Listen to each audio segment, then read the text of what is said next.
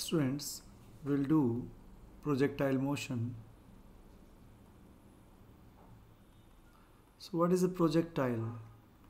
Projectile is an object that is in flight after being thrown or projected as a projectile.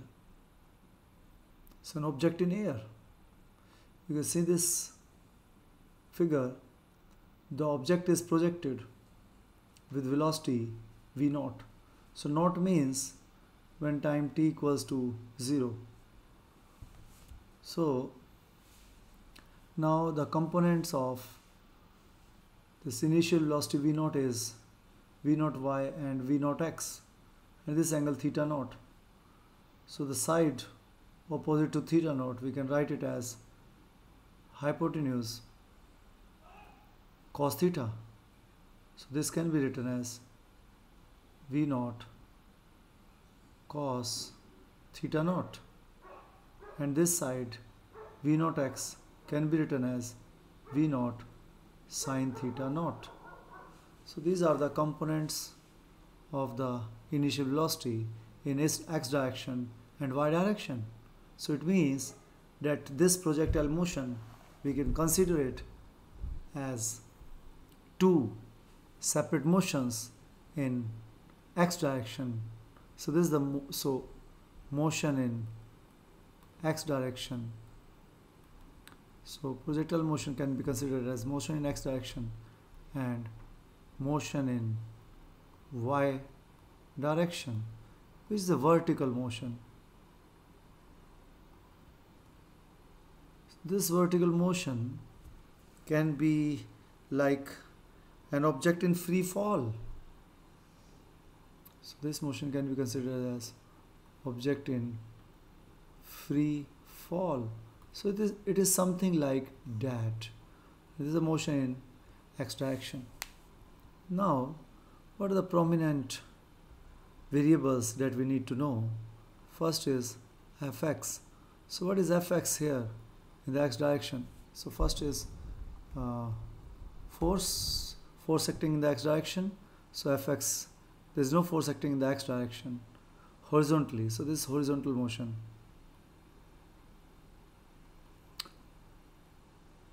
But there is a vertical downward force fx and as we know that f is equals to mg but the downward direction we are taking as negative and upward direction as positive so this g will be so so here so this force acting in the downward direction so downward direction we have taken as negative so this minus g so f into so m into minus g is the force acting in the y direction. Now, next thing is that due to force, we have acceleration. So what is ax equals to? So if the force is 0, of course f is equals to ma. So acceleration will be, acceleration is 0. And what is acceleration y direction? This is it, minus g. Now, the next thing that we need to know is what is the initial velocity and the final velocity. So we have initial velocity v naught. So what are its component in x direction? Its component in x direction is vx naught which is equals to v naught sine theta naught. This is v naught. So you know that So this is, so sine is opposite upon hypotenuse and opposite side is hypotenuse sine theta. So this is the opposite side. So opposite side I have mistakenly written it over here. This is V naught. Um, so opposite side is hypotenuse sine theta and this adjacent side is hypotenuse cos theta. So this is the opposite side to this angle theta. So this is V naught y is equals to v naught which is a hypotenuse and sine theta naught and this v naught x equals to v naught which is the hypotenuse cos theta naught so this is the adjacent side so please correct it So V naught x is equals to V naught cos theta naught. And so this is the initial velocity. You can also write it as ux. And this is uy is equals to v naught y. And so naught is always for t is equals to 0 so similarly for theta theta naught. So this is v naught sine theta naught. So this is about the initial velocity. And what about final velocity? So final velocity is v at time t. So this was at time t is equals to 0 so v at time t we know the formula that v is equals to u plus at so if we look at this this formula so this was initial velocity. And now final velocity v x equals to u plus at. So what is ux? So ux is equals to v naught cos theta naught. So this is u.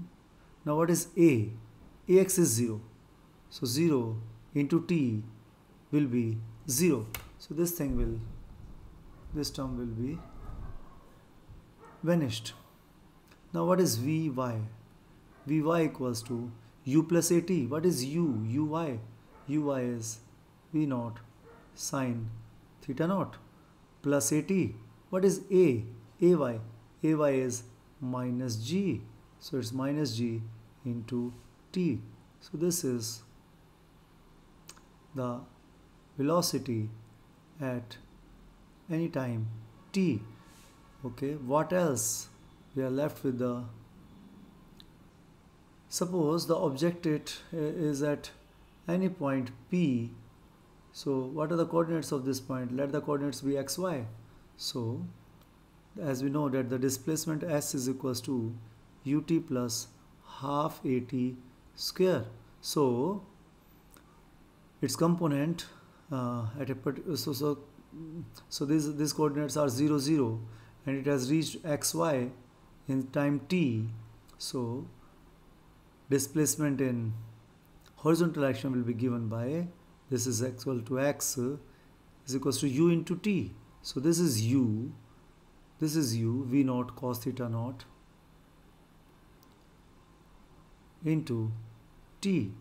So you can see that initial velocity and final velocity is same. Why? Because this acceleration is 0. So acceleration is 0. That is why initial and final velocity is same. So you can say constant velocity. So constant velocity because acceleration is uh, 0 so now what about here? Displacement in y direction so it is just like free fall motion. So y equals to ut. What is uy? uy is equals to v naught sine theta naught. So this is v naught sine theta naught plus half at square so this is a, a, ax is equals to minus g. So let me write it as minus g. So a equals to minus g and t square. So half g t square. So this is what the displacements in x and y direction horizontally and vertically are. Now what do I want to find? I want to find out these variables height, maximum height and time for the maximum height means I want to find out h maximum and time for it time maximum. Next thing is I want to find out this range this range. This is the range r and this is the time of the flight also. So I'm interested in these four variables that I want to find out. So how, what are the things change when the object reach at maximum height? We can see that when an object reaches maximum height in vertical direction it is going up and then coming down so at the top, vertical velocity is 0. So Vy equals to 0. So, so using this equation, Vy is equals to 0, we'll get, so Vy is equals to 0 is equals to, means this is the maximum height. So this is equals to V naught sine theta naught minus these are all constants. G is also constant. The only variable is t and that will be t for the maximum height. So I will write it as t maximum. So this will gives me go, uh, taking this to the other side. So gtm is equals to v naught sine theta naught. And this will be t maximum. Max time maximum for the flight is v naught sine theta naught upon g. So this is the first formula that I have derived time for the maximum height. Now what is the second formula? So if I put this time here in this y coordinate so I will get the maximum height. So from this y so y equals to height maximum and is equals to v naught is constant sine theta naught is also constant minus half g is also constant. What what what is the uh, time to reach this height? So the time is so when the velocity vy is 0 this time v naught sine theta naught upon g. So that's the point. Now okay so here we have worked on one thing students that s is equal to ut so t will come here and t will also come here. So, so this thing what is so this and what is the value of t? So t is v naught sine theta naught upon g. So time for the maximum height time taken to reach the maximum height in the vertical motion. This is this time. So we are taking it and this comes out to be so y is equals to v naught sine theta naught into t so the t maximum and then here minus gt this value minus half g and again the value of t maximum v naught sine theta naught upon g whole square. And this comes out to be height maximum is equals to students look here this is v naught square sine square theta. And here also v naught square sine square theta. And here we have g square. And here 1g so 1g cancel out with square. And only 1g will left. So this is the half. So this is the this is just like you can say x minus half x. So the answer is half x. So this is the case here. So the answer is half V naught sine theta naught. So V naught V naught square sine square theta naught divided by g isn't it? Because this is v naught square sine square theta naught and here also v naught sine square. So you can take it common also take it common.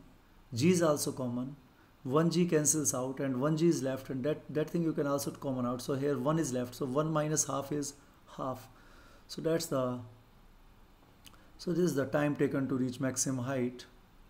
Time to reach maximum height. And this is your maximum height. This is your maximum height during the flight. Oh, what is the third thing that we're going to calculate? I'm interested in this R and TF. So TF, you can see this coordinate was 0, 0 and this coordinate is when it's going to hit the ground. This coordinate is X and this coordinate is, is 0, y, y 0 and X you can write it as R. So this is R0 actually, this coordinate. So use this using this equation and uh, for this I need time so I need to find the time of the flight. And the time of the flight is when y equals to 0 so see the coordinate here. y equals to 0 so put y equals to 0 here. So I will get the time for the flight. So put, putting y equals to 0 so y equals to 0 and v naught sine theta naught into t. So this time is when y is equals to 0. Here this time was tm. So time was tm over here. and here the time is tf time for the flight. So this tf this is the time for the flight. When y equals to 0 so this is what I am interested in. Time for the flight. So I will write it as tf so this tf time for the maximum flight. y equals to 0 minus half g tf square. So this comes out to be taking this on that side. So half g tf square is equals to v naught sine theta naught into tf. So one tf will cancel out and we are left with this tf only. So this tf is equals to and this g will come down and 2 will go up so 2 v naught sine theta naught upon this g will come down. And this tf 1 tf cancels out. So time for the flight is 2v naught sine theta naught upon g. So this is the time of the flight when the object will again touches the ground.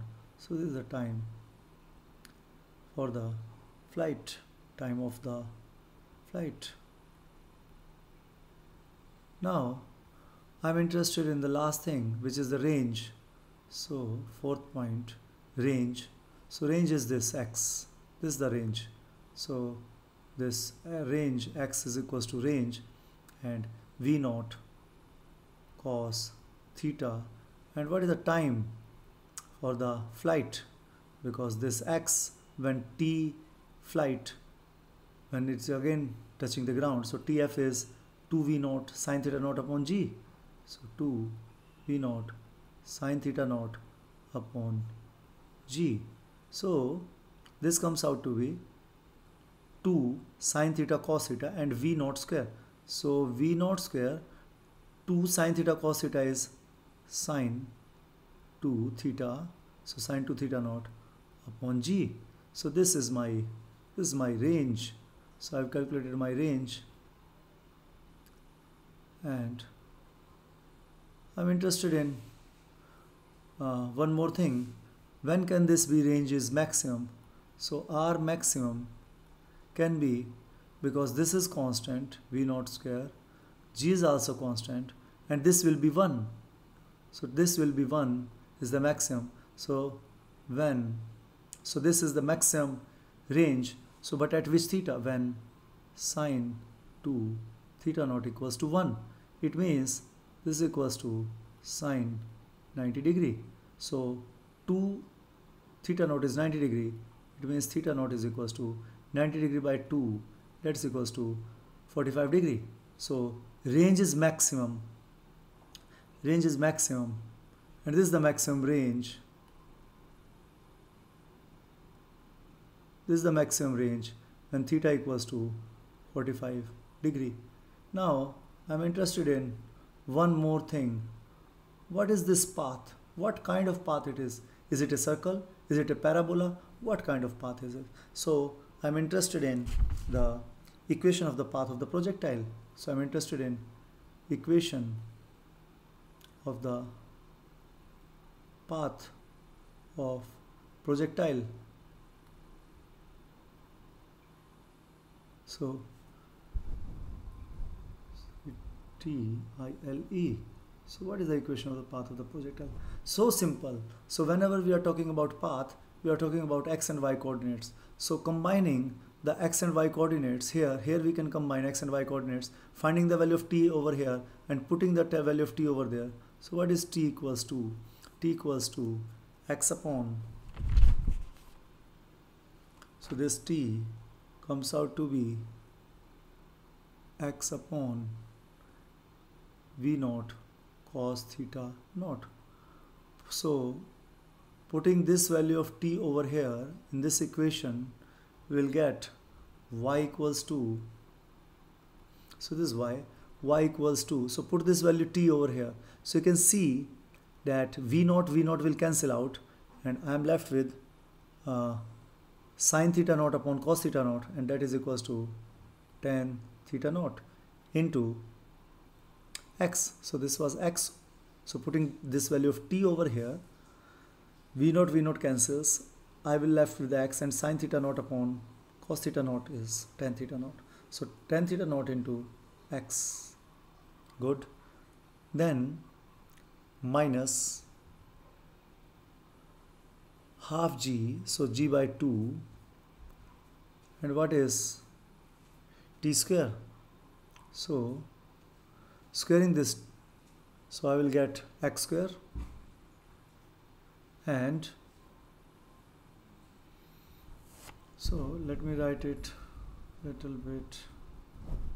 So this is g divided by so times squaring it. So this is x square.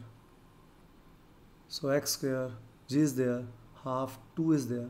So half g and I'm squaring this t. So this x square and v naught square cos theta naught square. So I can write it as v naught cos theta naught whole square. So this is what uh, my equation of the path is. Now what does this resembles to? If this is you can clearly see theta naught is constant so tan theta naught is constant. So you can write it as constant a minus g is constant 2 is constant v naught is constant cos theta naught is constant. So this whole is constant. So I can write it as b and x square. So what this equation resembles to? Y is equals to ax so I can write it as this negative also is constant. And in standard form I can write it as plus. So y is equals to ax plus bx square. And this is the equation of parabola so which is equation of parabola. So the path of projectile is a parabola. So thank you students for watching this video